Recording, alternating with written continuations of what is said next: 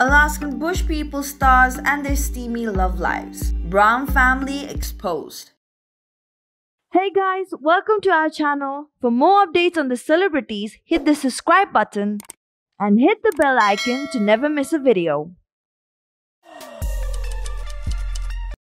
As Alaskan Bush People fans are gearing for another incredible season of the reality TV show premiering in August 4, 2020 on Discovery, the matriarch and patriarch of the Brown family, Ami Brown and Billy Brown, are struggling on how to keep the show fresh even on its 10th season. One option, according to Radar Online, is to expand the Brown family with new lovers and maybe even more babies. As the show's insider confided on Radar, saying Billy is desperate for all of his sons to get hitched because he knows that wedding and babies bring in viewers as it did with Noah Brown's wedding and baby. They don't really care what the cost is. Billy is running out of idea on how to keep his family together on TV. But luckily for Billy, his extended sons and daughters are busy building relationships, including the recent exposed Bear Brown and his sexy model ex fiancee Raiven Adams.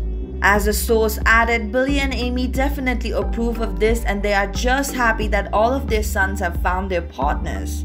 Ami can't believe that the nest has gotten so full so fast. The Brown family's relationship. Billy and Ami Brown. Ami was just 15 years old when she met her now husband and quickly got married to him. It is said that Billy was 26 and 11 years older than his wife. Yes, it sounds creepy, but women can get married as young as 14 with parental consent in Texas back in the days. Fans may know the couple now have seven children in total, five boys and two girls. Noah and Rhain. Noah Brown and Rhain Brown got married back in August 2018 and welcomed their firstborn, their son Elijah, in February this year. And according to the sources, they are already trying for a sibling. It looks like Noah is definitely listening to his father. As the source says, they really want to have their children be close in age so that they can grow up together, like Noah and his siblings did. Gabe and Raquel. While talking about the new addition in the family, Gabe Brown and Raquel Rhodes were also expecting their firstborn in November, as the couple was the ones who announced the news to their fans on social media.